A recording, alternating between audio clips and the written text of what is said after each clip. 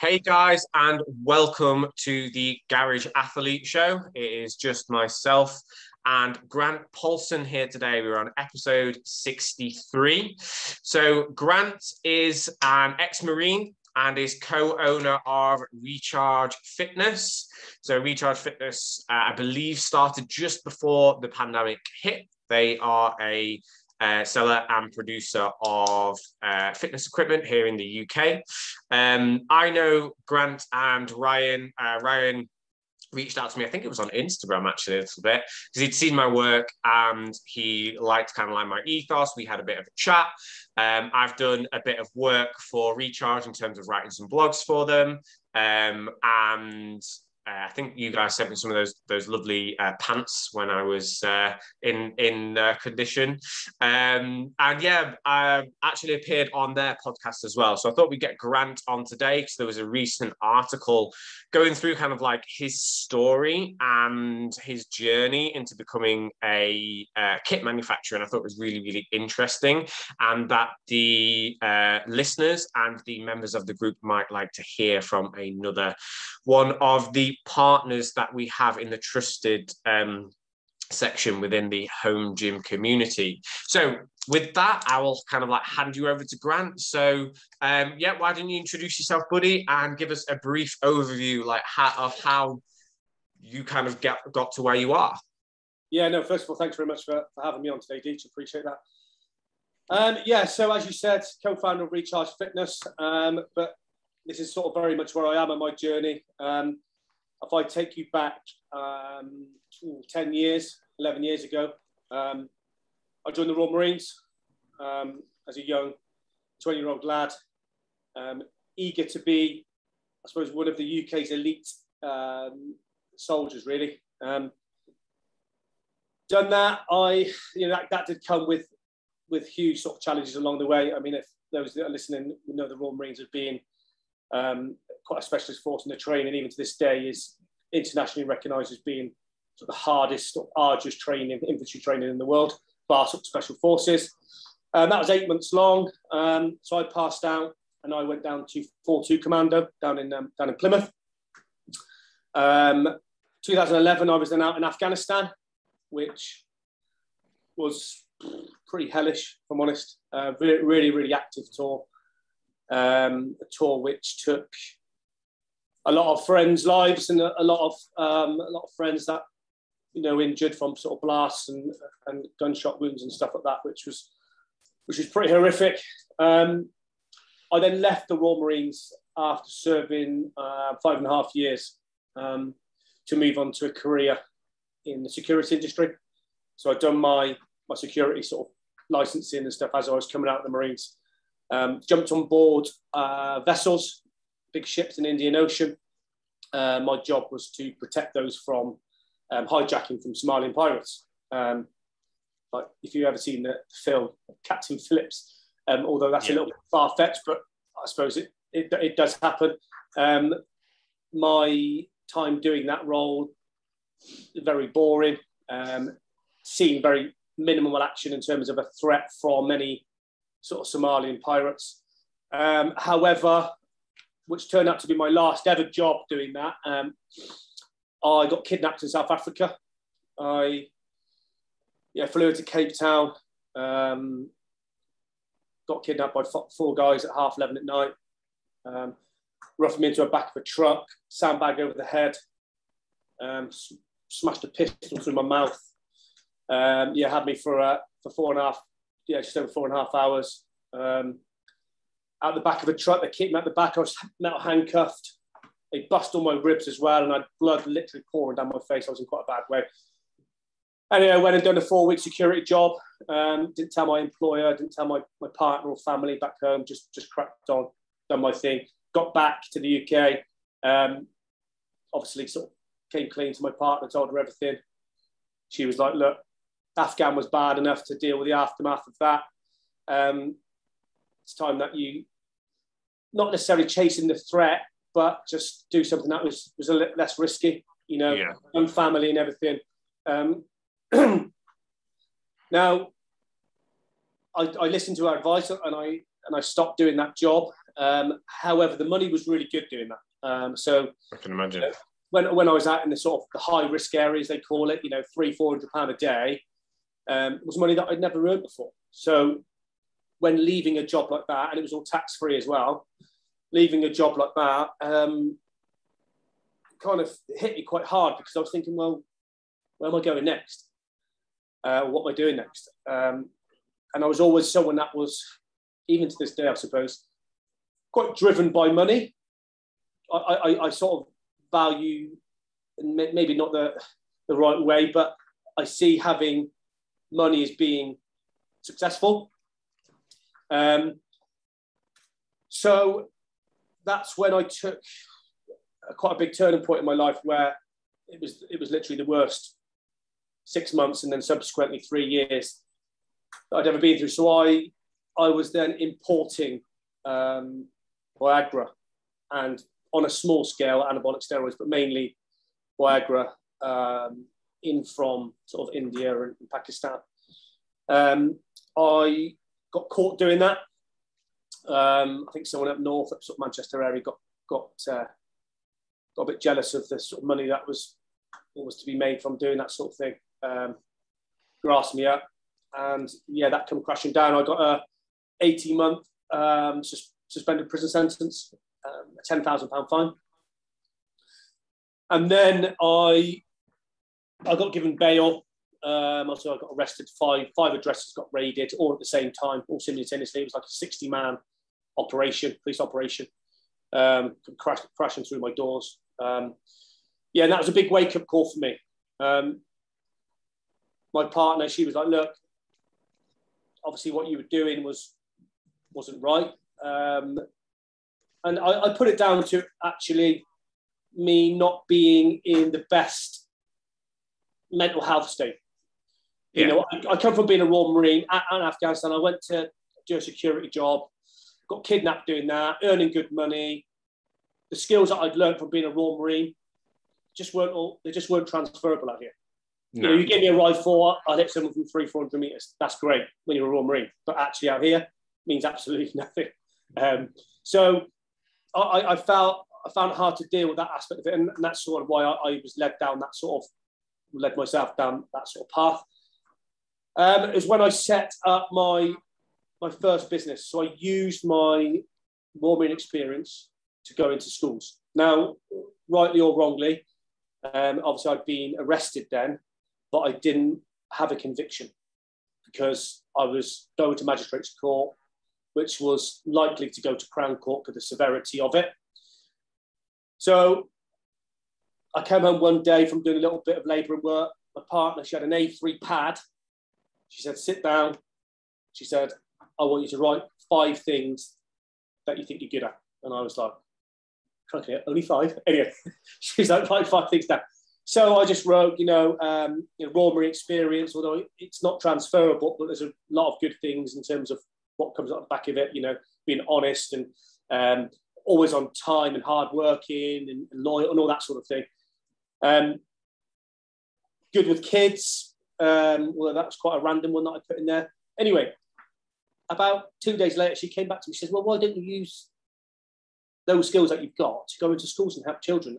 In today's society, there's a lot of resilience lacking in, well, children of all ages. Yeah. Um, that lack of determination, not wanting to try new things. Um, this, this one even sounds crazy still when I say it, but they'd much rather watch other children play computer games on their yeah. iPad and play it themselves. Yeah. That fear of failure. So between me and my partner, we we came up with this business and um, we had kind of written a, a sort of syllabus where we were going into schools for a 12 week program working with a, a, group of children and the rewards that or the feeling that I got from helping those children was just something I've never really experienced before.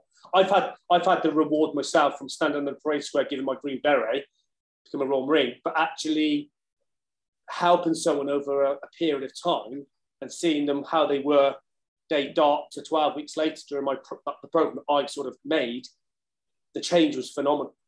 And so I can I imagine with them being so young that yeah. it's very when you. So I'm I've got a lot of experience in terms of kind of like mindset coaching and that like that's heavily within my coaching program. There's a heavy emphasis on that yeah. about overcoming obstacles about problems are normal.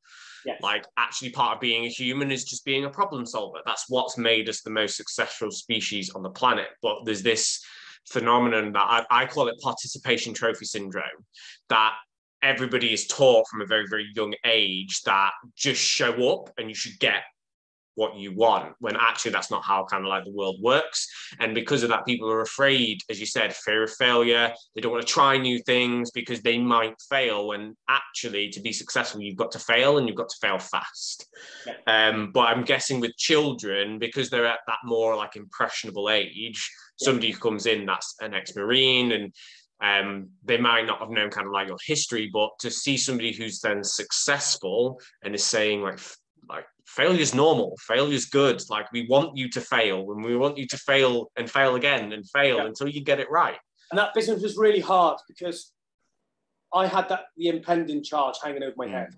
Now my DBS that I could have I got at the time that I'd always taken and showed the school was was completely clear, and obviously I had a, a conscience that at some point I'm going to have a, a charge or even potentially go to prison, you know. Mm-hmm. But what the, the, sort of driving force behind it was that I knew that what I was actually doing was really positive. Yeah. So I, have turned the most horrific negative um, into, into, into a big positive. And I, and I was helping, yeah. I was helping thousands of children every month. I had, I had 17 staff at one point. We were going all around the country, delivering like one day workshops, 12 week programs and it was literally phenomenal. Um, but I could never, although I'm going and delivering these sessions, I I always had to hold back a little bit because mm. I was always, I suppose, scared that there was going to come a time when it could potentially come crashing down. Yeah. So I brought people in that I thought at the time that I could trust, friends, which subsequently further down the line because the business was doing so well and they felt that they were um, taking Entitled. a lot more responsibility.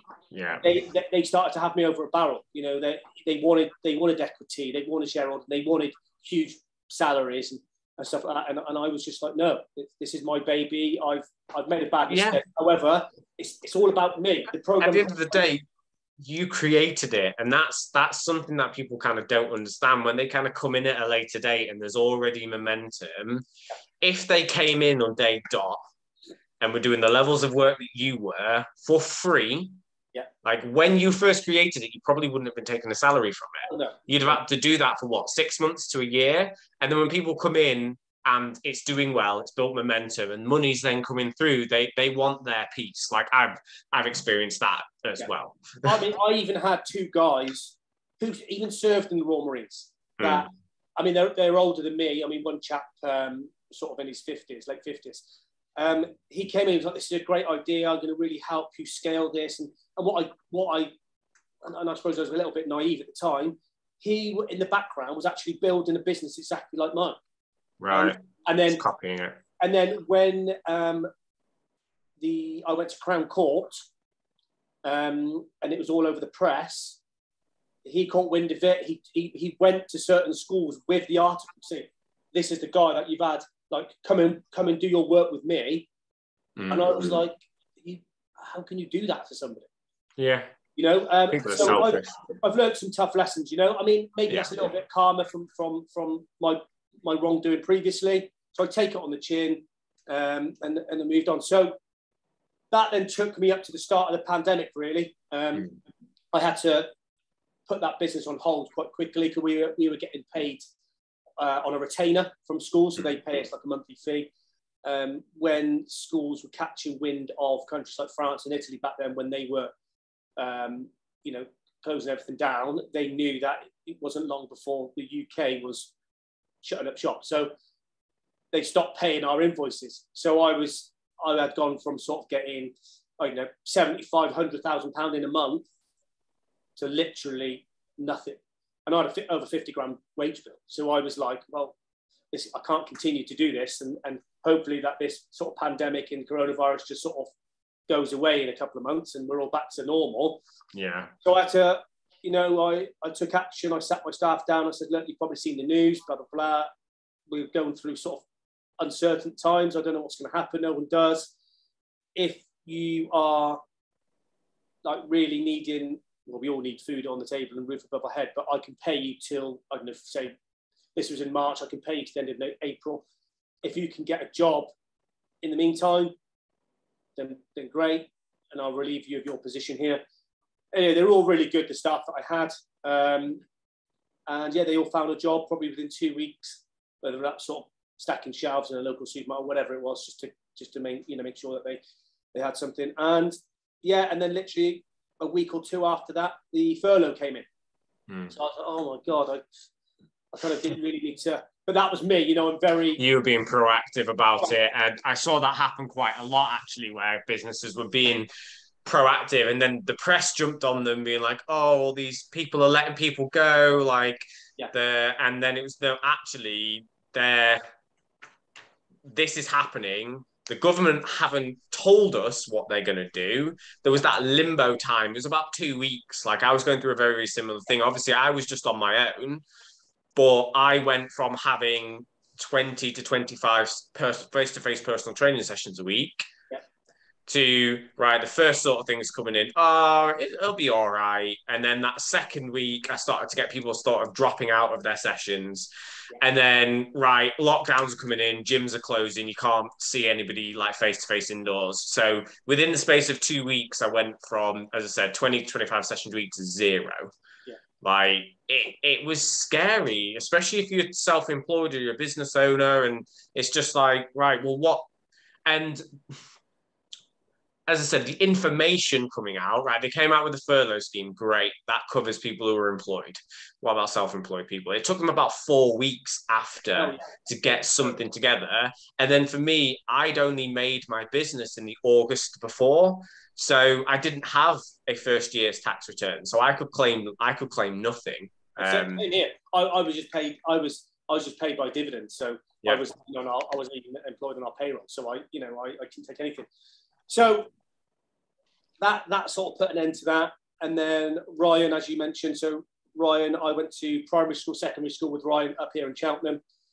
Um, always, he he then moved down to Bristol after um, well, no, we went up to Bournemouth University, then up to Bristol um, to do his sort of university. And I obviously joined the Marines and then came back to Cheltenham once I'd left that. He reached out to me on LinkedIn, um, which like he did every now and again, we just sort of check in with each other. He's like, look, what you, how are you going to sort of get through this uncertainty with um, with your business? And I was like, I've let everyone go. They've all found new jobs. Um, I'm sort of fending for myself. I'm going to try and do bits and bobs, a bit of labour. And if builders are able to still work, then I'll just turn my hand to anything really, anything to, to you know, most, well, I say most men, most men probably won't, but I mean, I'm that way inclined. I'll just do anything mm. to get food on the table, roof above my head, so I'm for my family. So um, he said, look, if you've got any ideas, so I've got a bit of time myself, obviously, um, you know, we could do something together or work on something together. And I was like, well, yeah, I think gym equipment is massively in demand. And this is obviously April, April March, April time. He's like, oh, let me um, go away and do a little bit of um, sort of research. So he, he, he said, crikey, so I can get hold of gym equipment. He said, it's like three, four, five times the price. That's crazy. Um, and also, because Ryan's got a, a, home gym as well. Um, back when he set that up, I think that he really sort of found it hard to, you know, you've, you've got the likes of your Rogue, your Rogue and your Eleiko that do everything that's sort of top end and mega expensive. But and then you've, you've got businesses at the other end of the scale, sort of cheap and cheerfully, not really sort of trusted in terms of quality. There was not really anyone in the in the sort of middle ground. Yeah. So, at the start of the pandemic, there was nobody in that middle ground. Yeah. Like so, the only people that were trying to be there was probably MiraFit. Yeah. And they had pretty much had a monopoly. Yeah. So he was like, he said, no, I remember back actually from me trying to get my gym that I struggled to, to find you know, a, a reputable sort of supplier that wasn't going to charge the earth. Um, anyway, so we got a container, excuse me, of equipment over, and then it was just, well, we had luck on our side. We, we set up a company, and if I'm honest, it was always a probably a temporary temporary thing. Didn't ever really expect us to get to where we are today. It was like, how can we turn 25 grand into 50 grand just to keep Yeah. money coming in for ourselves? First container arrived. Um, it was already pre-sold within probably 48 hours. Um, opened the doors. The kit was fantastic. It was like commercial grade kit, which obviously is good enough to go in- into a home gym. Fantastic. Mhm. And we just got the price right. We we we kept it affordable. There was Yeah. no, you know, we looked at the sort of pricing like two, three, four, five years ago as to what companies were charging, and, and we just went in with a similar price point. We didn't we didn't inflate it to what other companies were doing. Yeah. Um, and you know, there, there was there was profit to be made doing that. Yeah. So I mean, and our and our view was, well, how can these businesses be sort of really kind of ripping the arse out the pricing and, and charging people far more money when we're back, we're in a pandemic. Yeah. We need to actually be helping people. And That's going to turn around and bite those companies now because they're now having to massively discount to bring their pricing back to being competitive now that the arse has fallen out of demand. Yeah. But people are going to be going, well, if you could sell at this price and still make a money, make money, recharge like the, the companies that are around that price point now, they're like, Yeah. well, these guys are selling there now and Yeah. they're they're still happy to make that same sort of thing. They don't need to put on massive discounts because they they never, as you said, inflated their price. It's people argue kind of like the whole supply versus demand thing and all that, and I, I understand that. However, customers, there's no customer loyalty nowadays. However, if you recognize a brand as looking after its customers, you are going to foster some sort of loyalty, especially with gym equipment, because it's not like you you pay every month. It's you buy a product and then so say if it's a rack, you buy a rack. The only time that you're going to then spend more money is if you're upgrading your rack. You're not going to then buy a new rack every two or three years because it's just a slab of metal. yeah, exactly. So I mean, yeah, going back to sort of um, what you're saying regarding sort of discounting. So we obviously we done our Black Friday, um, well last Friday, and it finished on Sunday, Mm. and we we gave fifteen percent off across our whole website. Mm. Now, when we had our team meeting, and you were like, some you know, a couple of the sort of junior staff here, they were like, there's businesses out there that are doing like 30, 40, 50 percent, and I was like, well, they might well be doing that. I said, but if you look at their their starting price, for example, before the discount came in, I says they, they probably boosted their hex dumbbells up to three pound fifty a kilo, so they can Mm. they could they could do a forty percent sale. I said when, when you're sat at like 260, 270 a kilo, and we're taking fifteen percent off, you know. Um, so one side of us is being very open and transparent, but then you've got to think actually to the con- to the consumers. They go, well, we charge only doing a fifteen percent off. They maybe don't see that actually our pricing back in the pandemic was far cheaper than anyone else. Mm. Um, and even to this day, it's probably still cheaper than a lot. Uh, but and, and the quality's there. Yeah. So um, yeah, I mean, and and you know, eighteen months of, of being in this business, it's been been good fun, but it's come with its challenges. Yeah, of course. I mean, the bigger challenge that we deal with as a business is couriers. Yeah, I, I can't believe when we have we have weekly meetings on on uh, people's orders that have maybe um, been damaged in transit, been lost, or gone to the wrong depot, and and it, it happens.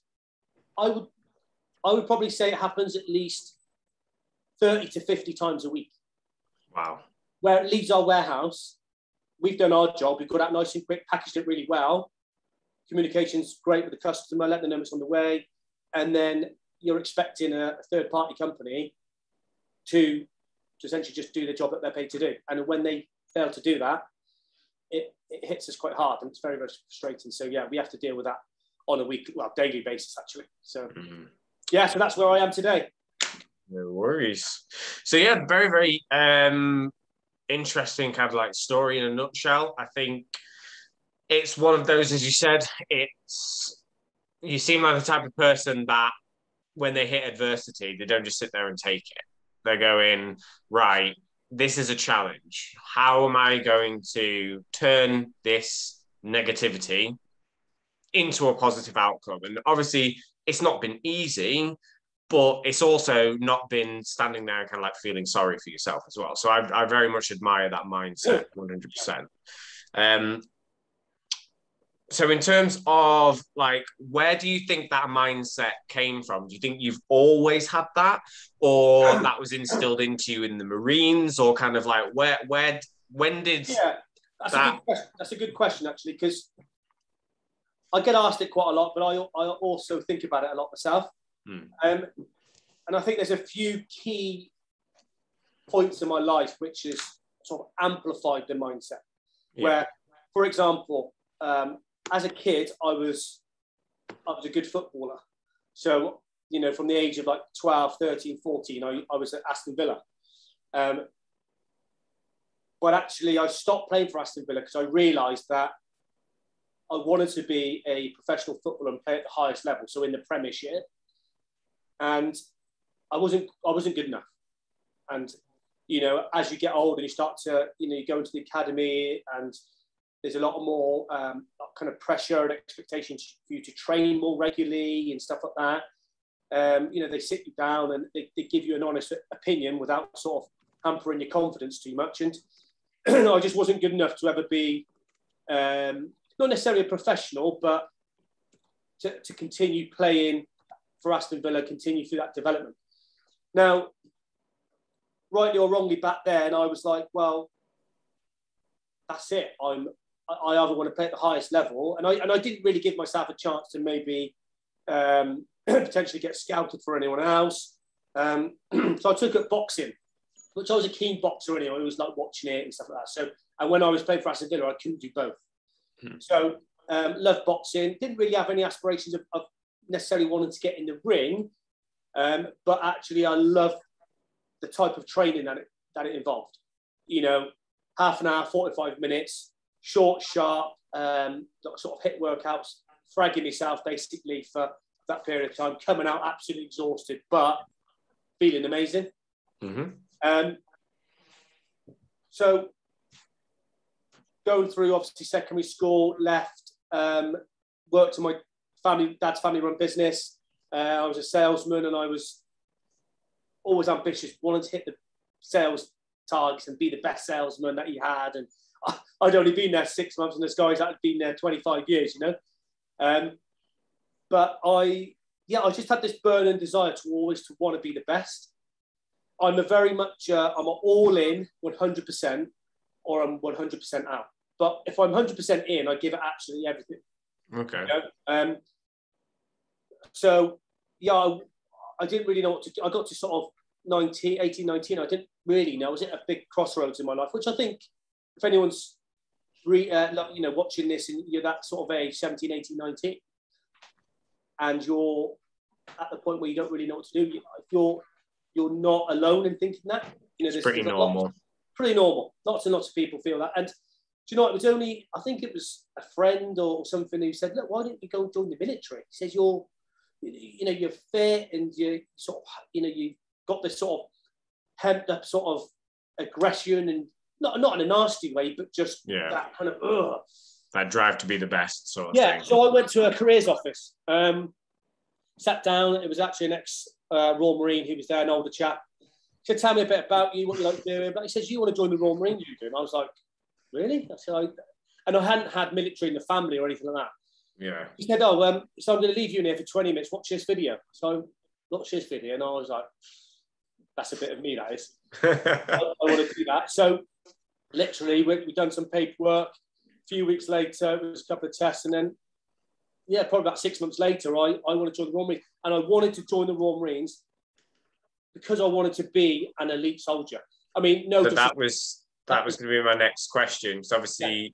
Royal Marines training, I've seen some stats on it. It's something like only like five or ten percent of people who are, apply actually kind of like make it out. So my next question was going to be like, is it as hard as obviously the um, the training officers kind of like make it look?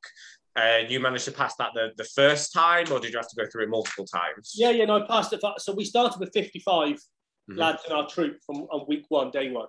And then by the end of week 32, there was actually only seven of us left from the original number. Wow. Okay. Uh, so, yeah, wrong. about 90% then.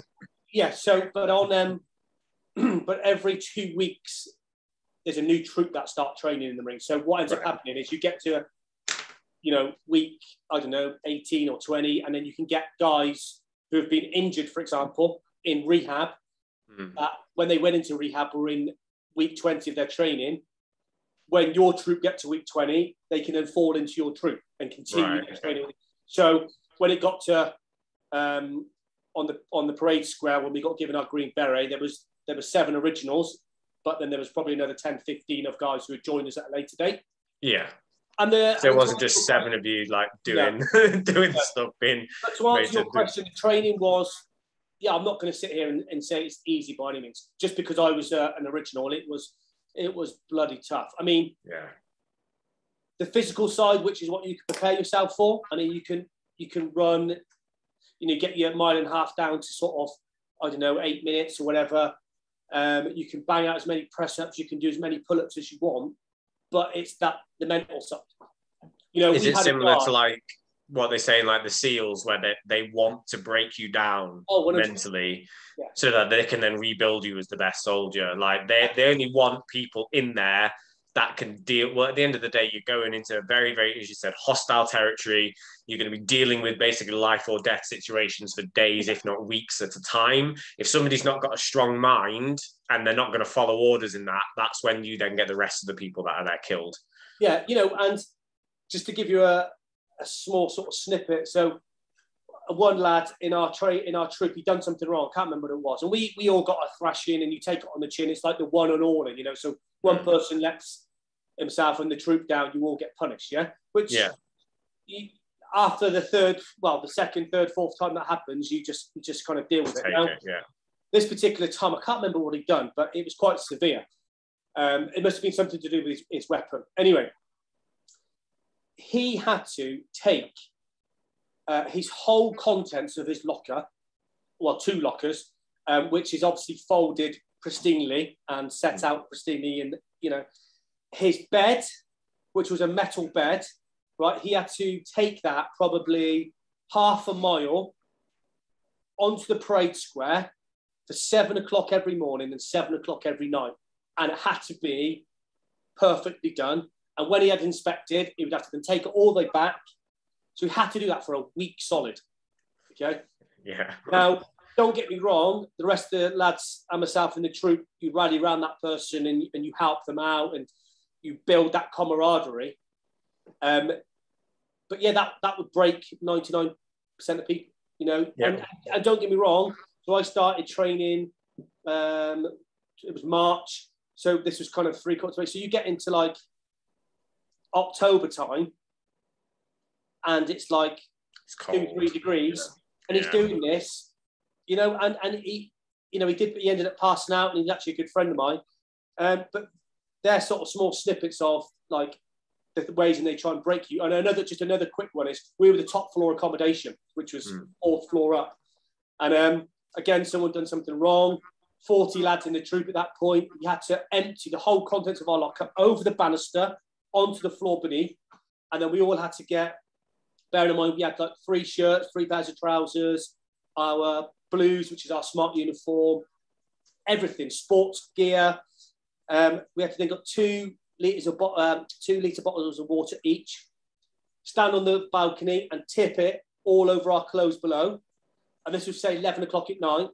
And then by six o'clock in the morning, we had to have our, our whole lockers pristine for inspection and then you've got you've got like I don't know a couple of thousand pieces of clothing on the floor, which you hope everyone's named. You've you know what I mean. So it's just a yeah. mind. Yeah, yeah. You know, wow. Yeah, it was tough. It was tough. Yeah.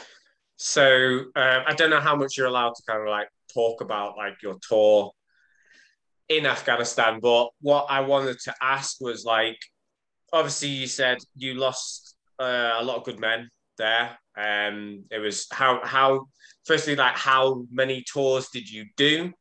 Um, kind of like what sort of if you're allowed again if you're allowed to say like what sort of areas like were you in? And then my final question was going to be like how do you feel about kind of like what's happened recently with basically the piss poor dealing with the handover of power so that the Taliban's just come back in and, and taken over?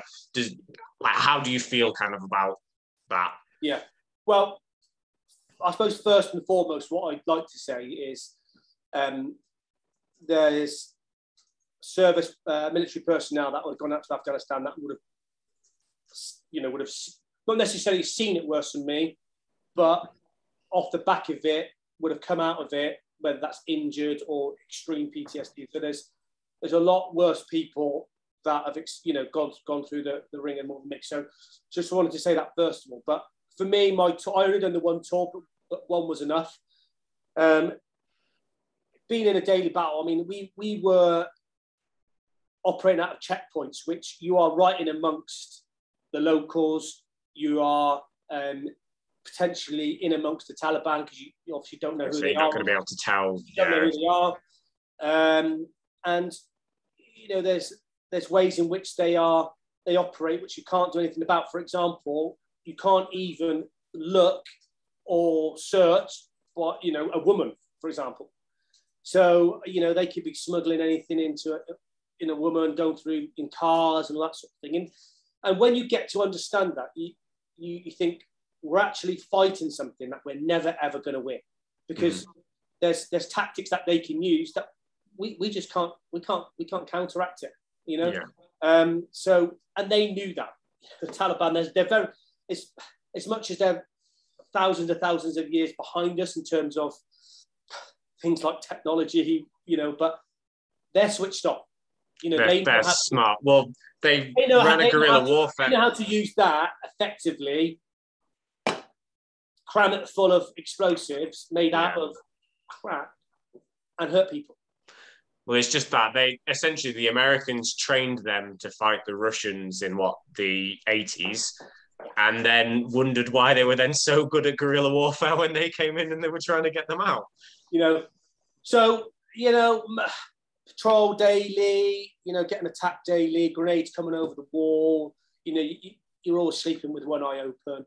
Mm. Um, you know, it, it was it was horrendous. It was really horrendous. Um, and the, the main reason actually why I left the Royal Marines wasn't necessarily actually with what I encountered and what I saw, uh, because because at that time actually it never really had hit home until probably a year or two after I left the Royal Marines.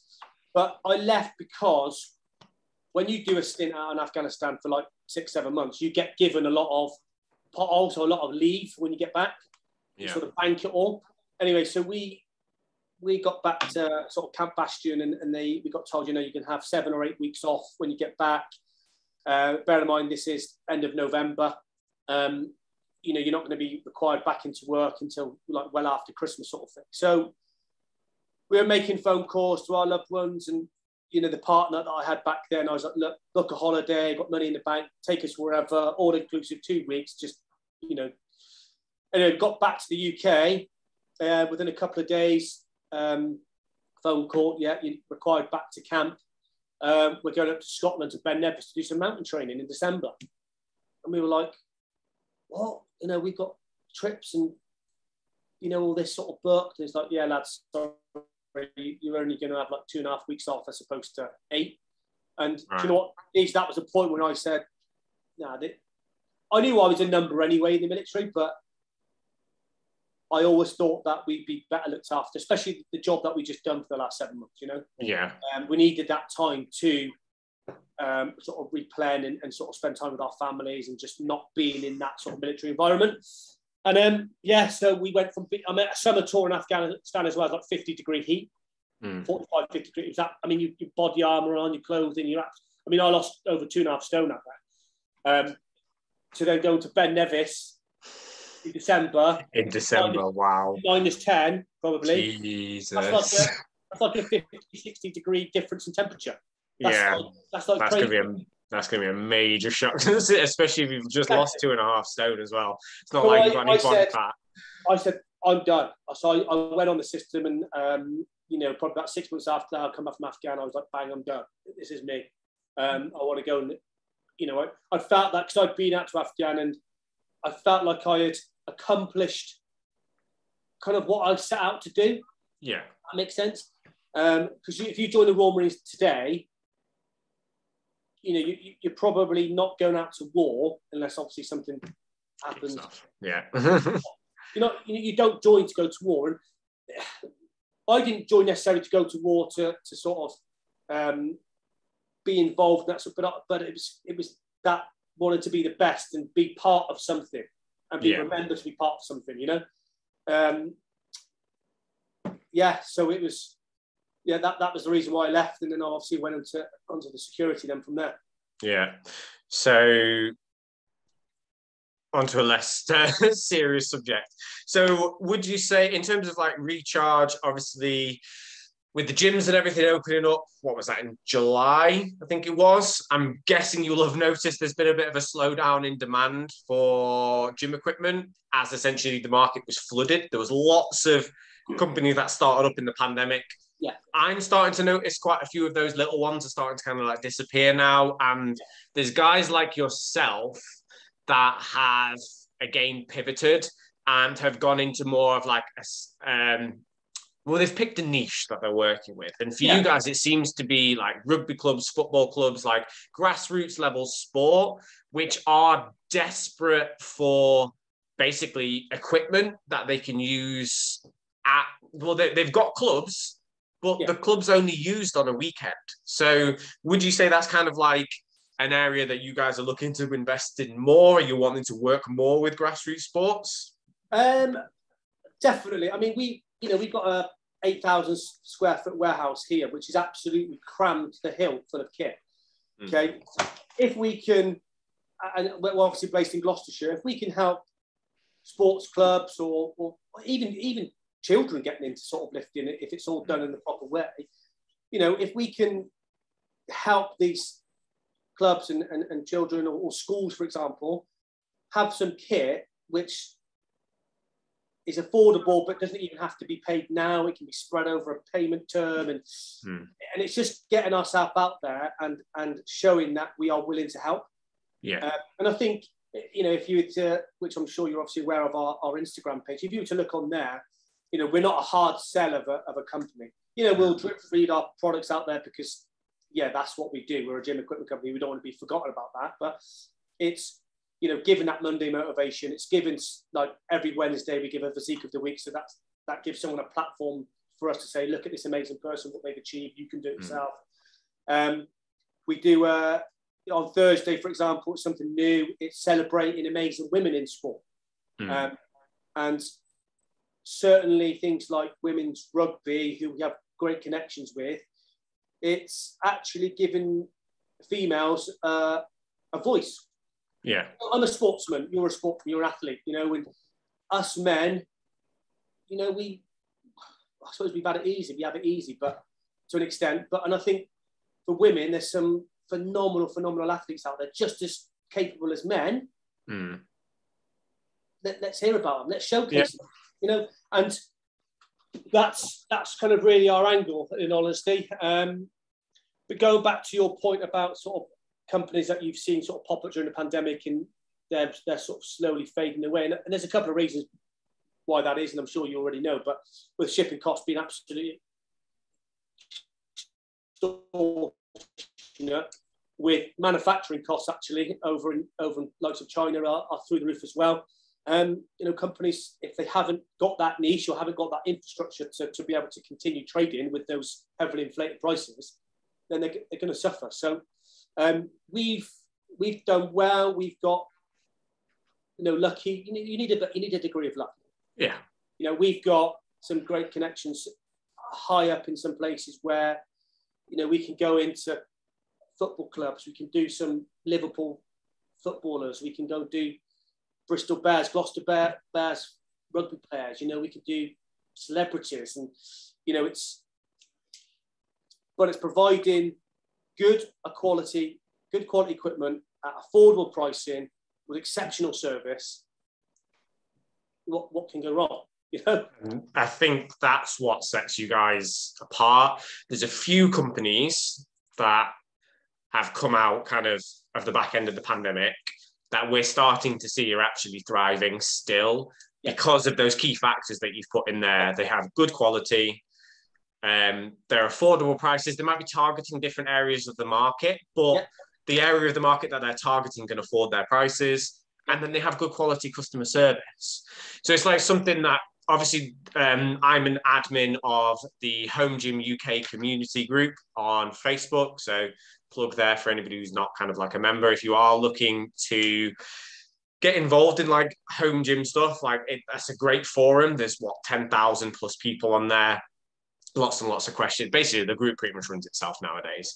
And we are looking at, we make sure that anybody who gets onto the like approved companies list, we have tried their products, we've tried their customer service, and therefore we want to make sure people are getting quality kit just because there, as you said, there's a there was a, there was a big gap in the market for that middle ground where people don't want cheap and cheerful and is going to break in a year but they don't want to be paying Rogue Eleiko. Like they're, they're not high level powerlifters. They don't need a bar that you can deadlift 500 kilos on or whatever it is. Like they need stuff that's going to last a while, but it's not going to kind of cost the earth. And there's been a few kind of that have kind of like popped up. So the the big and kind of like final question for yourself is like what what are the plans kind of like moving forward? Have you got any exciting kind of things that you kind of like want to announce? Or like where do you see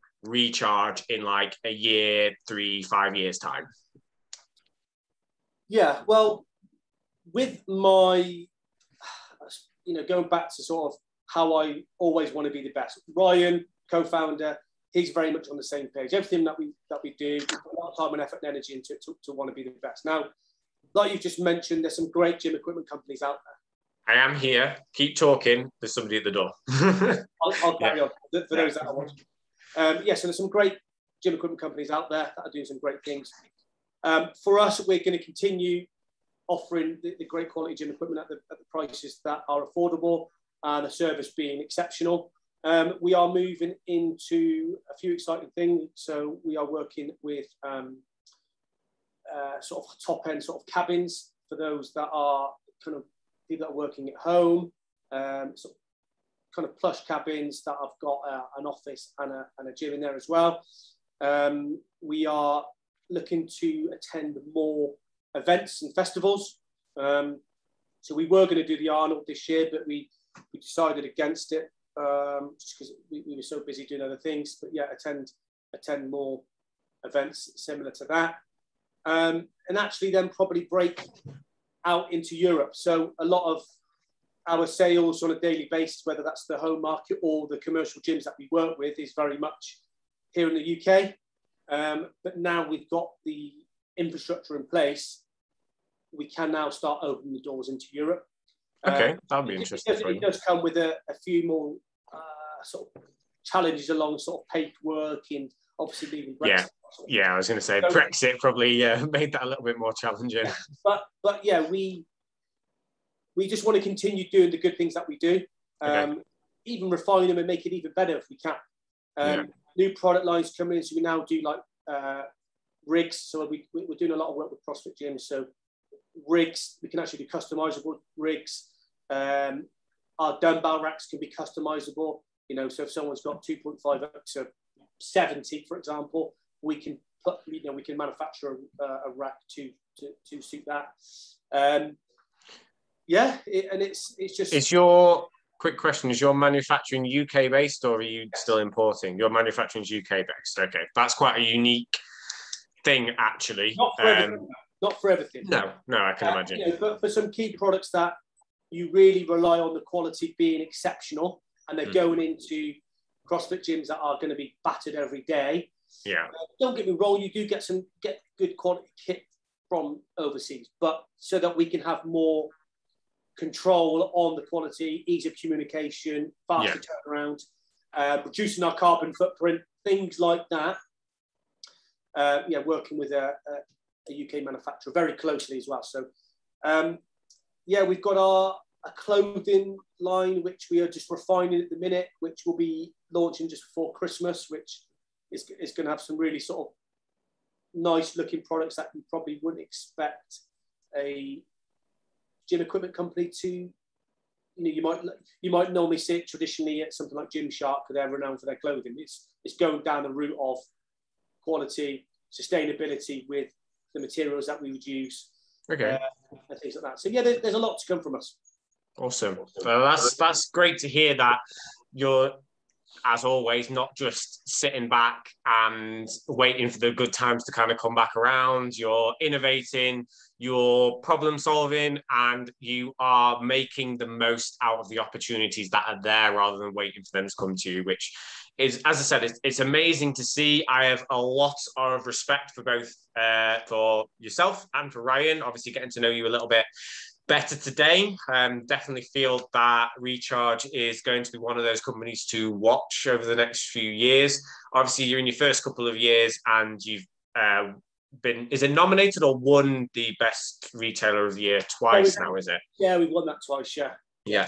So you're obviously doing something good or else you you wouldn't have kind of won those awards etc so um, we'll probably wrap it up there. People are probably a little bit bored of, um, of me asking you questions by now. Um, so uh, if people want to find yourself or find recharge like where where can they find you on let's go like instagram website and facebook? Yeah so website is www.rechargefitness.co.uk uh, instagram is at recharge underscore fit. And Facebook is just recharge at recharge fitness. That'll come up.